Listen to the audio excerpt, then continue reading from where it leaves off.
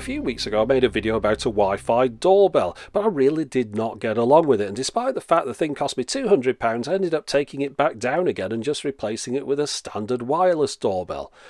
Now, over the last few weeks, people have got in touch and asked me if I could do a few videos every now and then about cheaper devices. I thought, well, this is a perfect opportunity. I'll do a short video about this wireless doorbell. Now, normally these things probably wouldn't be worth talking about, but I'm very happy with this one, so I'm quite happy to show it to you.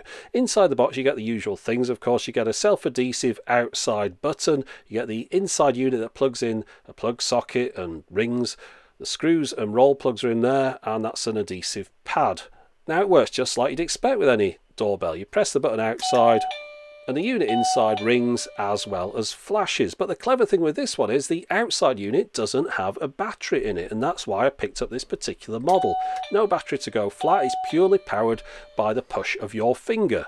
Now I'm showing you the measurements of the bell push here because it's quite important. It's a little bit wider than your normal bell push, so you've got to make sure you've got enough space outside to stick it to something. It's got an adhesive pad on the back of it.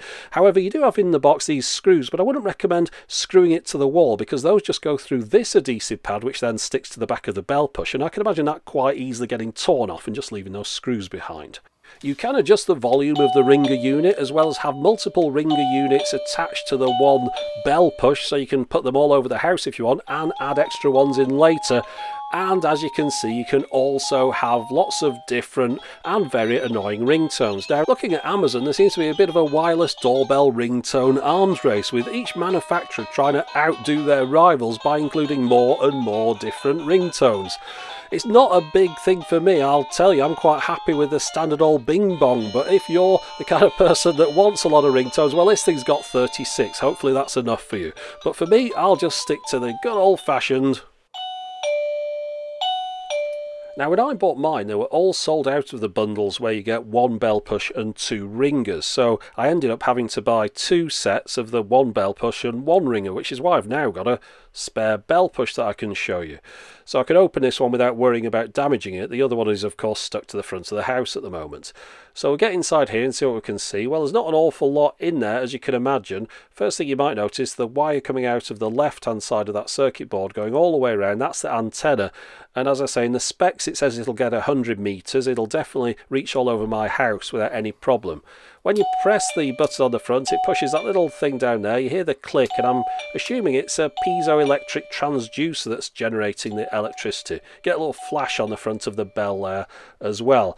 Now, at the time I'm putting this video together, which is March 16, in the UK, the current price on Amazon, £17 for a bell push and one receiver, or £23 for a bell push and two receivers. And it's a similar story in the US. It's $20 for a bell push and one ring unit, or $30 if you want the two receivers.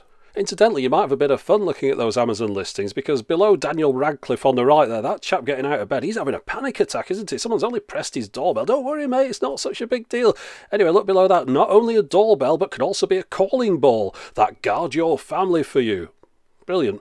And in addition, on the UK one, it says it's got a complicated design. Not the kind of thing that you normally want to point out to people, but integrated technology without crews will make this new wireless bell even more attractive and compact. So it's clear that this company is better at making doorbells than they are at advertising.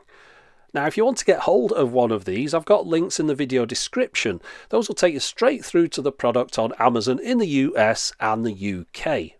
But that's it for the moment. As always, thanks for watching.